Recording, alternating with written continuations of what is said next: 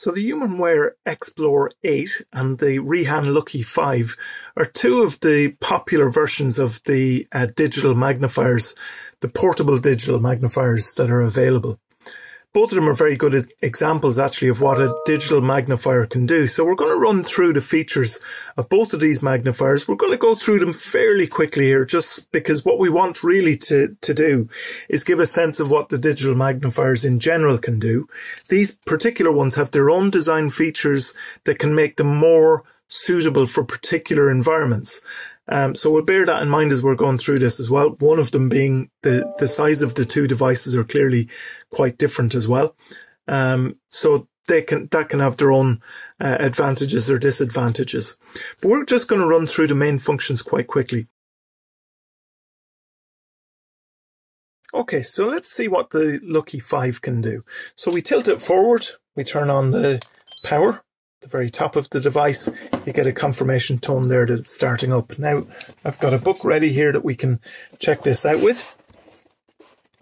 And uh, just because the angle of the camera that I've got at the moment, I'm going to tilt it up a little bit, but you can see that I can leave it on the stand if I want. And actually looking straight onto that is uh, a very clear, or uh, the uh, sheen that you see on the screen at the moment wouldn't be there. So I'm going to tilt it forward so that we can actually see it properly. It is still blurred at the moment. So if we want to make sure that it's properly focused, we just tap on the middle of the screen. That gives us a nice sharp image. And actually this is a very good image because as you look down through the color representation as well, how sharp the images are, they're really good. So we can see that nice and clearly. But the text as well is nice and clear. It might not be big enough for you though. It might be uh, the color representation isn't very good at the moment for your particular eye condition. So what can we do about that? Well, as we said earlier, we don't have um, physical buttons on the front of this device to be able to control magnification or the color display. But we can do it via the touchscreen. Now, a lot of people are kind of quite worried about having a touch screen because they're worried that they won't know exactly where to touch on the screen to control different elements of the device.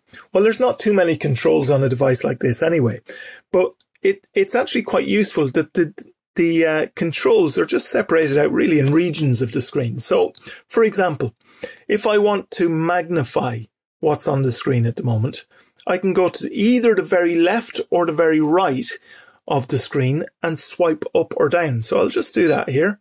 I'm going to swipe up. I can do that slowly or quickly. Swipe up again and we can see that it magnifies in, swipe down, and it magnifies out. So I can do that on the left hand side or on the right hand side of the screen. And that will work nice and easily. So I'm going to leave it there a kind of a middle setting of magnification. Um, and that will do us for demonstration purposes at the moment. But what about if uh, it's actually displaying in the right magnification level, but the colors aren't the right colors for whatever our eye condition is. Well, we can do a similar control, so swiping up or swiping down, but we do this in the middle of the screen. And this will change the color display settings. So at the moment, as we said, we're in the, the color mode. So we've got uh, all our colors are displaying properly. If I swipe all the way from the top to the bottom, it goes into kind of a grayscale mode. Again, let's just tilt this so that you can see it properly. That's in a grayscale mode. It's just taking the color out of it, really. Um, but if we want to go to the high contrast modes, we go again. So now we're into the white on black high contrast mode, and we can keep going through. If I keep swiping all the way from the top of the screen to the bottom, you get all these different modes, high contrast modes, uh, black and red, for example, there, uh, inverted. You can have your um, yellow and, and black. You can have your blue and yellow, etc., etc. And you can invert all of these. So that just moves on a kind of a, a rotation. So if I keep going down, I'll eventually get to the setting that we started on, our color setting that we started on. But of course, if you have just gone past the one that you wanted, Let's say we wanted white text on black background and we've just gone past it accidentally. We can swipe up from the bottom to the top instead, and that goes back to the last one. So that's the main functions of the Lucky Five that you will have probably in common with an awful lot of the the uh, different devices. Now there are other settings on here which are very useful, um, and they can help us when we're um, trying to get the most out of the device. We're not going to go into each of those, but just as a very quick thing, let's just tap on the bottom here and hold for a couple of seconds. We can change our brightness settings here. There's a button that is on, again, a, a rotation here, five different brightness levels that we can set to our liking. We can turn on um, reading lines, which can help us sometimes just to stay uh, on the right track when we're reading. Um, and that can be either horizontal or vertical. So again, that's uh, that's set up there so that we can turn that on. Let's just turn those off again, and we can turn tones on and off as well. We can get into different settings uh, in the settings menu as well uh, that can just maybe reduce the amount of options that there are for the the uh, display colors which can be quite useful if you don't want to go through a whole list of them when you only use two or three. So that can be set. And we can also um, make a couple of other changes from, from that menu as well. One other thing that we mentioned already, but we haven't demonstrated here, just the same button at the top of the device that we use to turn on and off the, the device, we can use just to capture or to freeze uh, an image. So instead of it being live, let's just press this once and then I can move the book out of the way and it's actually got a uh, captured image here, which I can still zoom in and zoom out of. And I can still, um, once we have zoomed out, we can still change the, the uh, display settings um, for that as well, the color display settings. So we can move through the color display settings there. Um, so that's the uh, freeze option or the freeze um, function. So let's just finish up. We'll um, do what we mentioned earlier, but instead of just pressing once now to power it off, we just need to hold it in a little bit longer. So we hold it in and you hear the tone that turns it off. So the Explore 8 is uh, has a number of similar features to the uh, Lucky 5, um, but it kind of presents it in a bit of a different package. So as we mentioned earlier, it's got some physical buttons along the front here. Um, that allows us to be able to change the magnification level and the different color display settings. We've got our uh, port here on the left hand side, the HD port and the HDMI port and the um, power button is on the left hand side as well. We have our camera uh, capture here. So to freeze an image uh, on the display is actually a separate one to the power button, which is another little difference between this one and the Lucky 5. And uh, the right hand side is nice and clear. It does have its own stand as well.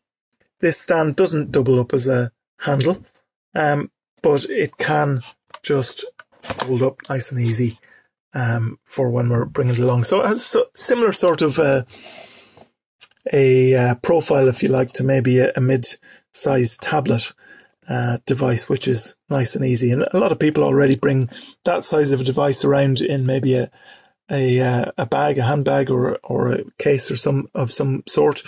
So it's not too big to be bringing around. It's not quite pocket sized the way that the um, Lucky Four is but uh, both have their own advantages, obviously. Now, this one, when we open this up, when we open the uh, stand up at the back, it actually turns on automatically. So let's just uh, bring our settings back here.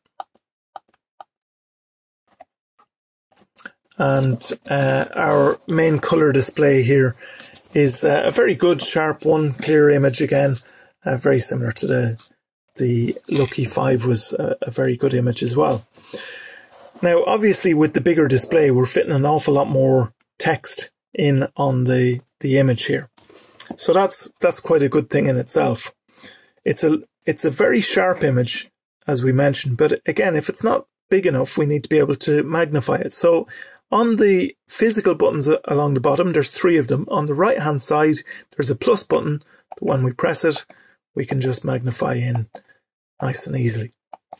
So when we're magnifying in, how far does it go? Well, if I just hold the magnification button, we actually get all the way up to 30 times magnification. So a, a very high degree of magnification. We can press the minus button on the left hand side just to reduce that back down a little bit as well. And it'll take it step by step if we just um, tap the button one at, one at a time. Here it'll take it by increments of magnification as well. Now, as we did with the Lucky Plus, or the Lucky 5, I should say, uh, this is basically, this is the color um, setting at the moment. What if we want to have it in a high contrast setting for um, for reading? Well, that's the middle orange button here on the Explore 8. So let's tap that and you get into clear black on black and white, high contrast mode. Tap it again. We've got white on black and you can keep running through your different color settings that are in here as well. And that's very useful. Now this one has just a reduced amount of uh, color settings that are available on it at the moment, but that's uh, that's fine as well. So that gives us a bit of a sense of that. Now, as we mentioned before, we also have our camera button on the top. So that's a separate one to the uh, power button, and we can capture something there. And then we have that without having uh, the book directly underneath. We have that captured on the screen. We can press the button at the top here uh, top left on screen to return back to a live image. Now that gives you a hint of something else that's on here. So while it has physical buttons, this device can also be controlled by touchscreen. So we can pinch the uh, screen together as you can with many smart devices to magnify or reduce magnification. So we can pinch in or pinch out to be able to change the magnification levels. And that's very useful. So that gives a bit of a sense again of what uh, the Explore 8 can do. Very similar in terms of its main functions uh, to the Lucky 5. But actually, as you, you will have seen, how it implements those particular functions are a little bit different. And that's what you'll find with an awful lot of the different digital magnifiers is that the way that they implement those different functions, even though the functions themselves might be quite similar to other ones on the market, it's always useful just to see which one suits you best for the needs that, that you have. So hopefully that gives a bit of a sense of digital magnifiers.